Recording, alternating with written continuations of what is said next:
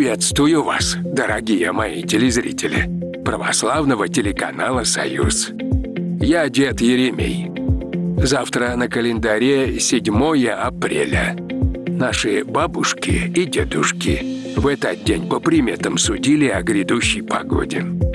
Коль облака с неясными контурами по небу плывут к перемене погоды.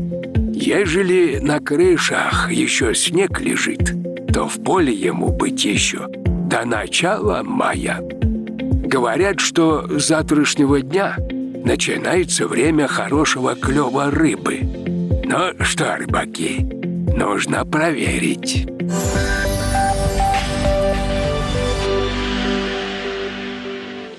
А какая же погода ждет нас завтра, 7 апреля?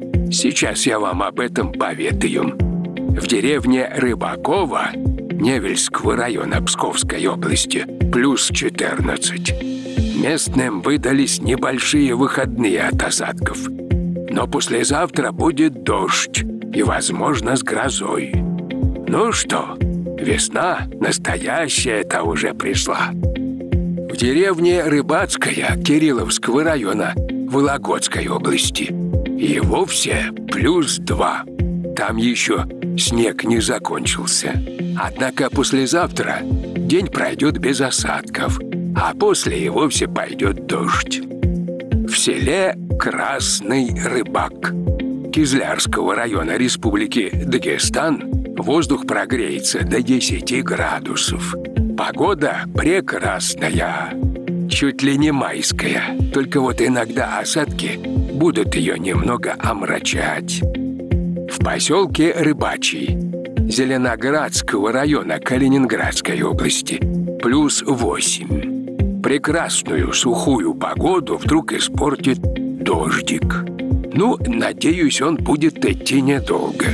Но резиновые сапоги и зонты все-таки достать советую.